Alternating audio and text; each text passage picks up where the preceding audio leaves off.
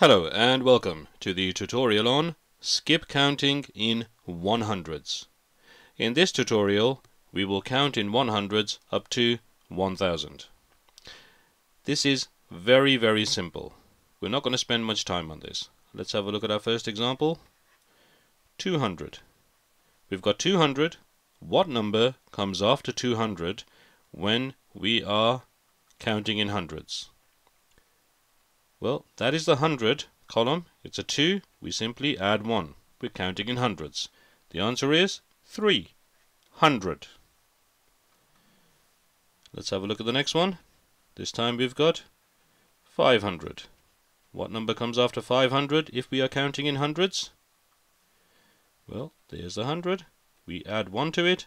The 500 becomes 600. I told you it was easy. It's very, very easy. Now let's just quickly work through a number sequence. We've got 300, dash, dash, or I should say blank, blank, 600, and another blank. Now, what is the first one? Well, that's the 100. It's 3. Add 1. It becomes 4. 300, 400.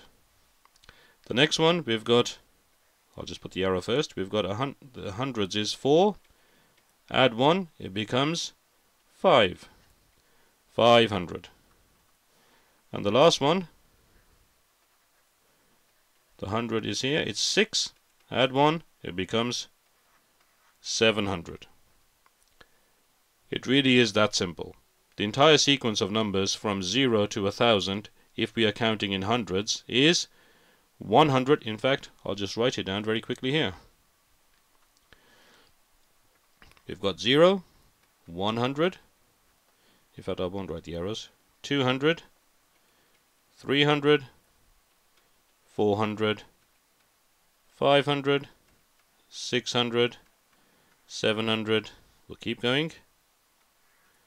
800 900 and 1000 Counting in hundreds is very, very simple.